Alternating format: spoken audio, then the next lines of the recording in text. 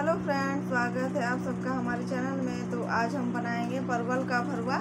तो हम ताज़ा परवल ले लिए हैं और इसको हमको ऊपर वाला जो छिलका है, इसको हल्का सा छीलना है। छील के इसका ऊपर वाला छिलका हटाना है। तो जो भी हमारे चैनल में नए हैं, वो हमारे प्लीज़ चैनल को सब्सक्राइब कर ले और हमें सपोर्ट करें। और हम डेली वीडियो अपलोड करते हैं तो आप लोग हमारे वीडियो को देखिए एंजॉय कीजिए। कुछ सीखने को भी मिलेगा।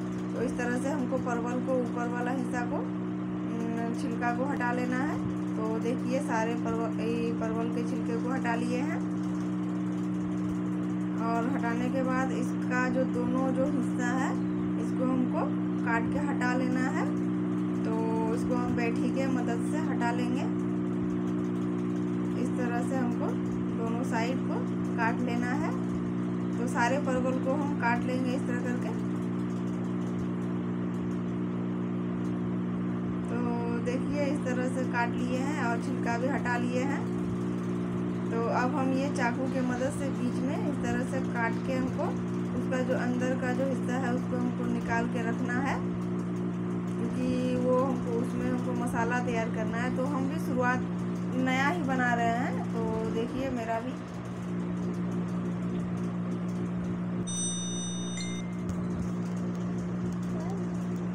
तो इस तरह से हमको तो पहली बार बना रहे हैं तो इसीलिए दोनों हिस्सा ही हो गया तो इस तरह से हमको अंदर वाला जो उसका इसका हिस्सा है, वो हमको चम्मच से निकाल लेना है। धीरे से हमको परवल को ही करना है। ज़्यादा ज़ोर लगाने से परवल टूट जाता है।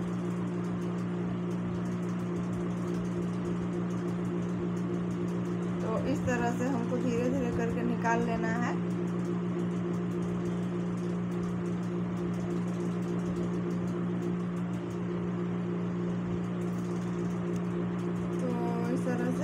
उसका अंदर वाला हिस्सा को निकाल लेना है।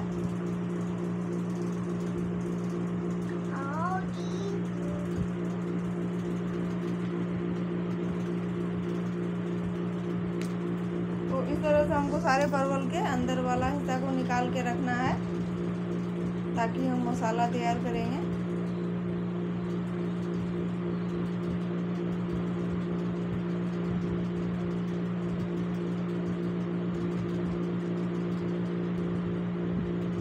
देखिए सारे परवल के अंदर वाला को निकाल लिए हैं। अब इसको हम मिक्सी में पीस लेंगे। तो इसमें मसाला भी ऐड करना है। तो मसाला में दो छोटे छोटे लहसुन और मिर्च और अदरक और जीरा और गोलकी, थोड़ा सा दो चार दाना गोलकी। सबको ले करके अगर आपके पास गरम मसाला हो, वो जो टाइप का रहता है, उसको भी आप सुगंध के लिए डाल सकते हैं। तो इसको हम हल्का पानी देकर मिक्सी में पीस लेंगे। तो यहाँ देखिए हम पीस लिए हैं।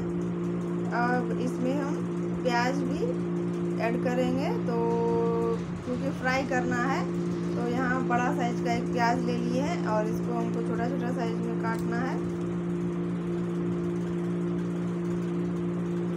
तो यहाँ हम काट लिए हैं प्याज को।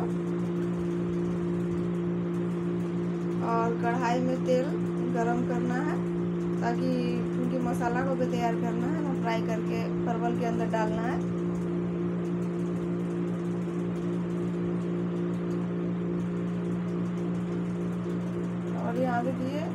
को एक बार धोए थे, जब बनाने के टाइम में और अभी साफ़ करने के बाद थोड़ा सा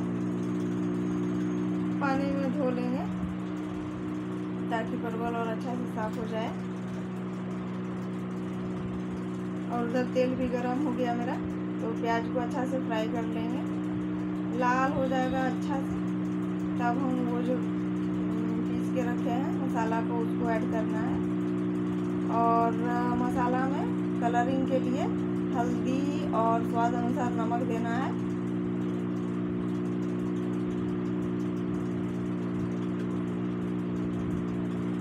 और यहाँ देखिए प्याज फ्राई हो गया और इसमें हम मसाला को ऐड कर दिए। और इसको हमको अच्छा से फ्राई करना है। टाइट, ज़्यादा गीला नहीं छोड़ना है क्योंकि गीला छोड़ने से वो जो हम परवल के अंदर डालेंगे वो निकल जाता है गीला छोड़ने से। इस तरह हमको मसाला को फ्राई करना है। टाइट तो यहाँ मेरा मसाला फ्राई हो गया। अब इसको हमको परवल के अंदर डालना है।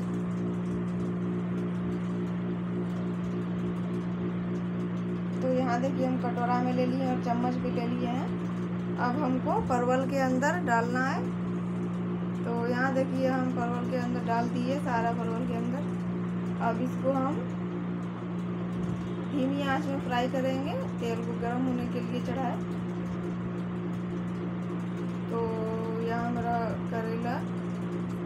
परवल सब जो रखे हैं तो इसको हमको फ्राई करना है। यहाँ देखिए धीमी आँच फ्राई कर रहे हैं। इसको हमको हर एक साइड में फ्राई करना है। घुमा फिरा के तो वहाँ फ्राई हो गया है और फिर चढ़ाए हैं और फ्राई हो रहा है सब। इसी तरह से सारे